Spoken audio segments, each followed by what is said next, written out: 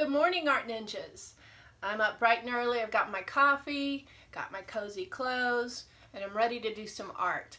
So I was thinking, what can we do where most people will have the supplies at home? And then I thought, hey, wait a minute. We can paint with our coffee. That's right, we're going to paint with coffee today. So I know most of you guys don't drink coffee, but maybe your parents do. And if that's the case, tell them don't pour out the bottom little bit. We're going to use that to paint with. Let's take a look at a few pictures. You can definitely see the value in this painting.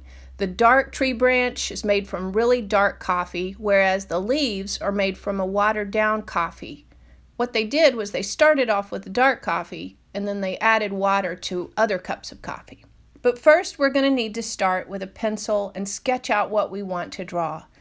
That makes it much easier to figure out what shades you want to use in your painting and where to put them. Take a look at my cups of coffee. The one in the yellow is the first one I brewed, and it is a small cup of super dark coffee. I didn't use very much water.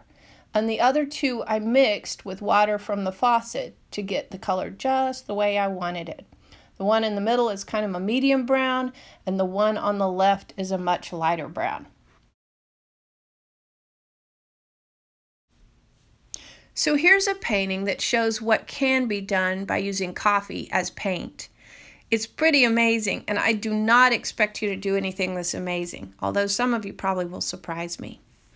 Take a look at some other ideas. Here's a leaf. They've used the darkest coffee to make the veins in the leaf, and then the lighter part around the edge. You can also paint on a leaf. I cannot wait to see what you guys come up with. Send me pictures.